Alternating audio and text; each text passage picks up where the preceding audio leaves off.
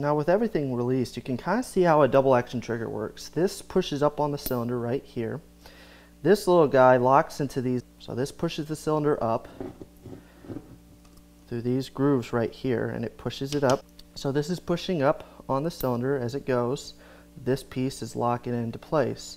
For the double action trigger, it's hitting this little guy right here till it slips off and it's still under spring tension. And then it goes boom, boom, single action.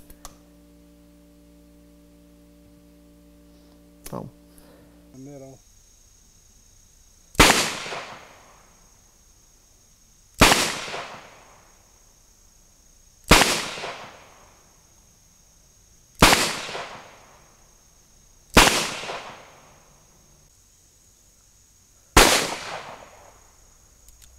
Probably not.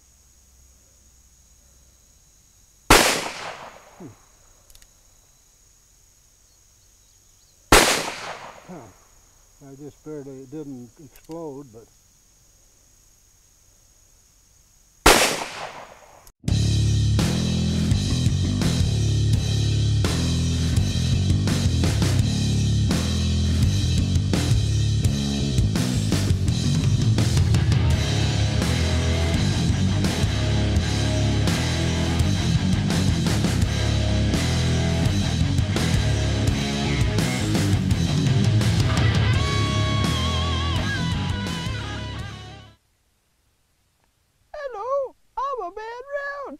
I make your fun go away. Yay! You jackass.